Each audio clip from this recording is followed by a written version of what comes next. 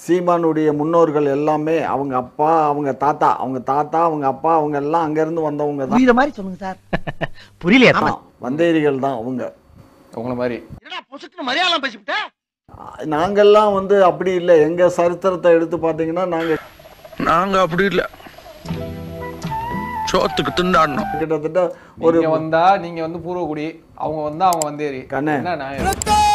உனக்கு வந்தா ரத்தம் எனக்கு வந்தா தக்காளி இவர் ஒரு மேடையில செருப்ப க- தூக்கி காட்டினாரு. அந்த அதுக்கே அவர் மேல கேஸ போட்டு உள்ள வச்சிருக்கலாம். வாய்ப்பில்லை ராஜா. வாய்ப்பு கிடையாது. எல்லாமே திமுக பண்ணுச்சு திமுக பண்ணுச்சு திமுக பண்ணுச்சு. விஜயலட்சுமி கூட போய் திமுக படுத்து கிடந்துச்சு விஜயலட்சுமி கூட போய் திமுக படுத்து கிடந்துச்சு. நம்ம கண்ட காட்சி உண்மைதானா? என்னயா பேசுற? ஏயா எங்களை வந்து நீ இந்த மாதிரி எல்லாம் வம்புக்கு சண்டைக்கு வாடா. நீ வேணா சண்டைக்கு வா.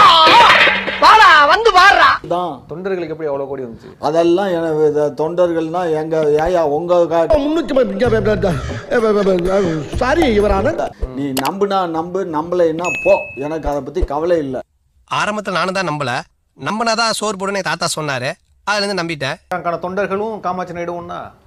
காமாட்சி நாயுடு இப்படி டெல்லியிலே ஆட்டி படைச்சவர்களா இப்படியே உசுப்பேத்தி உசுப்பேத்தி உடம்ப ரணகலம் ஆக்கிட்டாங்கடா திமுகவோட அப்ப நாயுடு தான் முக்கியம். நான் நாயுடுவா இருக்கிறதுனால திமுகவுக்கு சாதகம்னு சொல்றேன். புரிஞ்சுக்கோ அதுல பின்னாடி தொங்கல் இருக்குல்ல நாயுடுன்னு.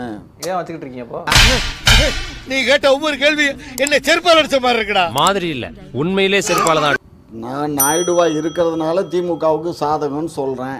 அவ்வளவுதான். இன்னும் என்ன நீ பைத்தியக்காரனாவே நினைச்சிட்டு இருக்கிறல எவன் கையில தம்பி இப்ப ரேக இருக்கு? இங்க பாரு கை வந்து என் கை சுத்தமான கை. இப்படியே பேசிட்டு இருந்தா உனக்கு பைத்தியம் தான்டா பிடிக்கும். அமுக டுமுக அமால் டுமால்.